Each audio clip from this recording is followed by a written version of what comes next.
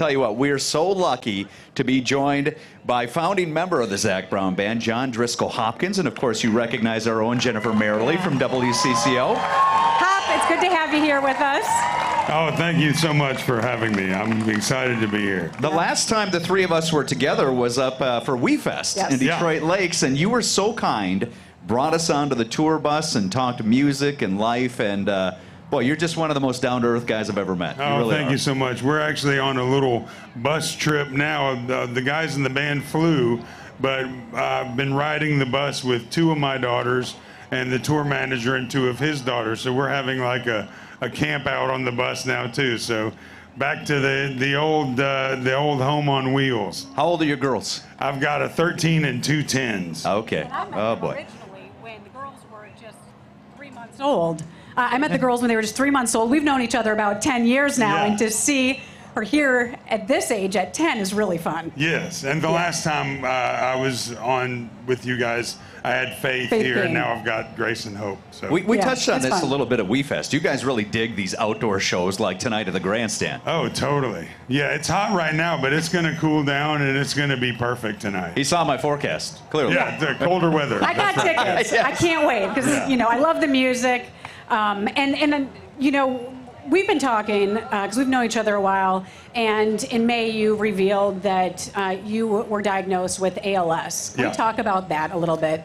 Yeah, I've for the past several years I've noticed a little stiffness uh, in my hands and some balance issues, and they weren't getting better with diet changes or exercise changes or medications, and um, I finally came to this ALS diagnosis, but it's uh, very slow progressing, so I'm still able to play and sing, which is exciting for me. Yeah. Um, and as long as I'm singing it, I'm bringing it. So I'll be on tour.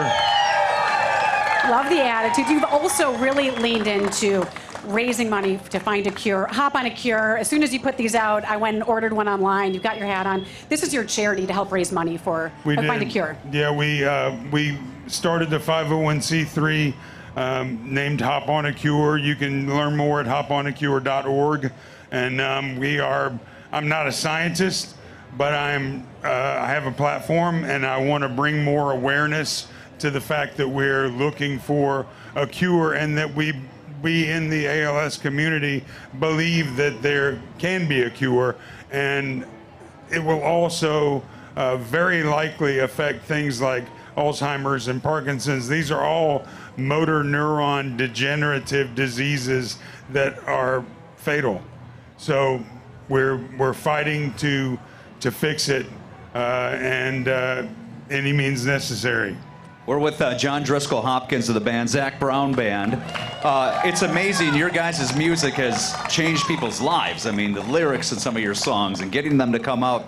But with the ALS too, it's a good thing that you're helping raise awareness because some people don't have a clue until it affects them personally. That's right. I think it's one of those diseases where they hear the, the acronym and they think, oh, Lou Gehrig, you know, or they, they say, I think I know someone whose uncle had that. It's, it's, it's not as rare as it used to be. In fact, uh, one in three or 400 people uh, will be diagnosed with ALS in their lifetime, and it used to be one in 20,000. So we're seeing an increase, and we don't really know why. Uh, could be uh, biome related, could be head trauma. There are so many things that could go into why motor neurons uh, stop stop working for us. But um, until we figure out how it starts, we're not going to figure out how to fix it. So, well, well you can hop on a cure. Everyone can, and we will see you at the grandstand tonight. That is not right. too far from the WCCO. Let's hear it. Looking forward right. to it. Zac Brown, man. Yeah. Yes. Frank. Woo!